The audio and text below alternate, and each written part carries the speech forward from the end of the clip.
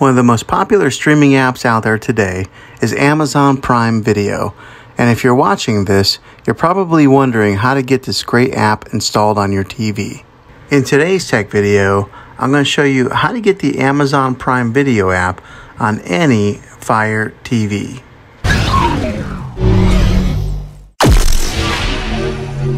It can be really frustrating if you want to watch some of the great content that is on Amazon Prime and you find that your TV is unable to download this app. Maybe you have an older model TV that isn't able to download any streaming apps, or your TV is unable to connect to the internet to get this app.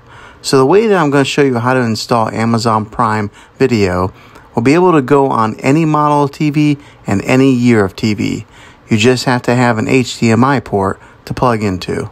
Now, the way to give your TV the ability to install Amazon Prime is to get a streaming device to plug into your TV. You can get Amazon Fire Stick or a Roku stick. Both of these media streaming players have the capability of downloading Amazon Prime Video. You would then use a Roku or Fire Stick as your main streaming player, which bypasses the operating system on your TV. And if you want to spend a little more, and get a more robust device that gives you more options, then take a look at the Apple TV 4K. All of these devices plug into the HDMI port on your TV, no matter how old it is, no matter what model it is.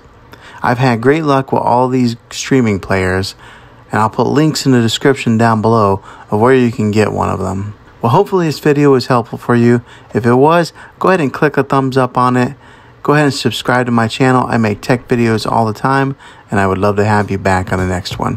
Take care.